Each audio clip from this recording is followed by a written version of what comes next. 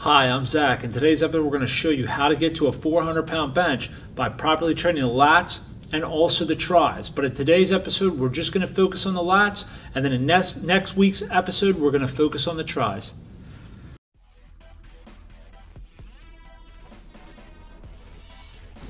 So this is Nick. He's been training with me for a decade, and he started his bench out here at about 165. What's your bench max now? Uh, 375. So pretty good improvement.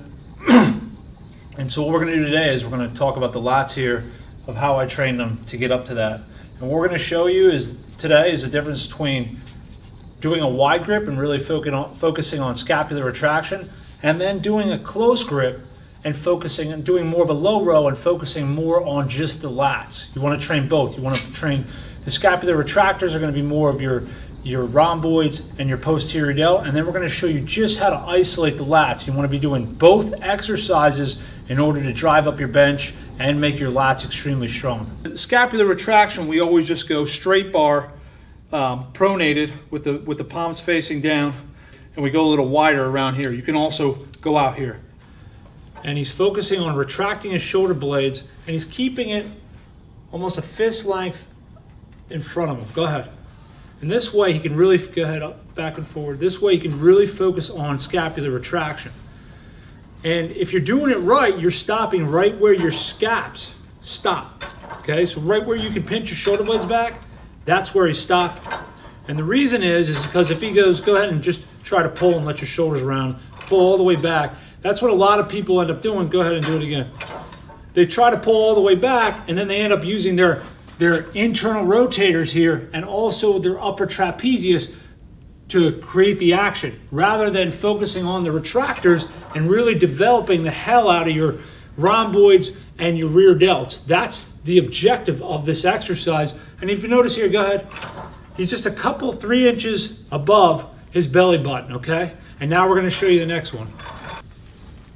Keep in mind too when you're trying to work on the scapular retraction exercise with the wide grip, we are breaking that bar in half. We're trying to have that feeling so the elbows stay in. The reason we're doing that is because we're externally rotating.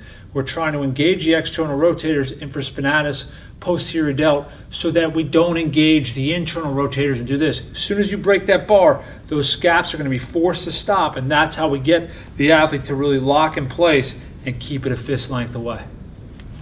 Yeah. So the next grip, what he's doing is, so hold on, take a break. Don't only do what I say. No, I'm just kidding. So the next grip he's taking is going to be actually a closer grip. And the reason is, is because we're going to focus on the lats. The wider you go, it's more like doing like a rear, like a rear delt exercise here when you're going like this. Okay, that's why the wider you go, the more posterior delt that you're going to focus on. The closer grip that you go, the more narrow you go, the more it's going to hit up the lats. And he's actually on this, he's going to go really low. Go ahead. And he's going to let his shoulders round forward slightly as he leans back. Go ahead. And now he's getting completely into the lats. Go ahead, come forward with it a little more. And now lat, yep. And notice how he's rolling just a little bit forward to touch. And look at, so he was three inches above with the, when he was doing the retraction. now he's doing low row. Look at how low he is, right down to his navel. And that's what gets right into the, to the, to the side of the lats right there. And also with the, the narrow grip low row, the reason that you are going low is because we want to take the upper trapezius out of the equation. If you try to pull higher, now you're involving this. If we go low, even though the shoulders roll forward slightly, it's still targeting the lats and taking everything away from the upper trapezius. And now do the other one. So go wide grip. Okay. And now, see, now that's all posterior delt. So that's the difference between the two. And look at how much higher that is.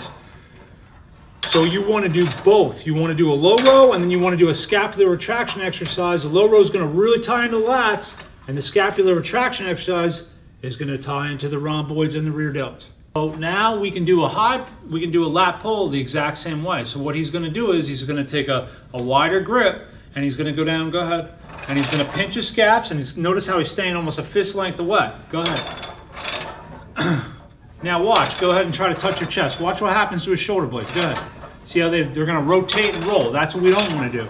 Okay, go ahead and rest. So do it again, right?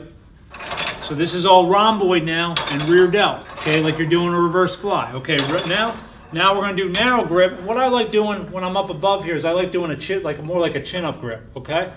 So what you, and you can do this way, but we're to now make it narrow. So we're to take that reverse fly action out of it, and we're to focus just on the lat. He's to touch way down low and lean way back. Go ahead.